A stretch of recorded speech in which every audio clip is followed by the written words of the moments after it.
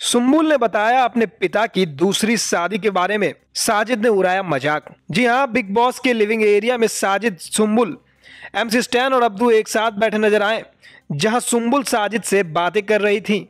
इसी बात के बीच सुम्बुल बताती हैं कि कैसे उनके पिता ने दूसरी शादी कर ली और उनकी दूसरी माँ और सुम्बुल के बीच कैसा रिश्ता है। वेल, इस बात को सुनकर साजिद और एम सी स्टैन मुस्कुराते नज़र आए। ऐसे में साजिद ने सुम्बुल से कहा कि, तुम्हारी माँ तो उम्र में काफ़ी छोटी है। साथ ही मज़ाक कर दिया सुम्बुल से। वेल, पिता के बारे में की गई मज़ाक से सुम्बुल काफ़ी नाराज़ हो गई और वहाँ से उठकर चली गई। सुम्बुल के जाने के बाद साजिद ने उससे माफ़ी मांगी। साजिद ने कहा, आखिर मेरी कौन सी बात तुम्हें बुरी लग गई, मुझे बता दो।